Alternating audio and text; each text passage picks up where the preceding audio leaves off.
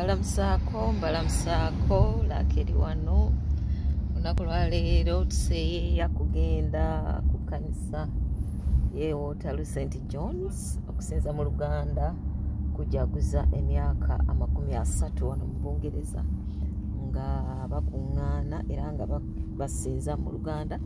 Ekkanisa eno yemu kanisa eyasooka wano mu kusinza mu luganda era n'amakanisa amalala oba amadiini amalala ne galabira ku yo nago ne gatandika enteekateeka ezo ez'okusinza nga mu luganda. Mu bungereza tulina ebibinja bya bannaffe aba church of england uh, roman catholic tulina naffe aba seventh day naffe tulina ekkanisa zaffe eziwerako kati wano mu bungereza entongole tulina n'abalokole nabo balina amakanisa gaabwe tulina ne bannaffe abaisiraamu nga bonna bakuŋŋaana era nga basinza.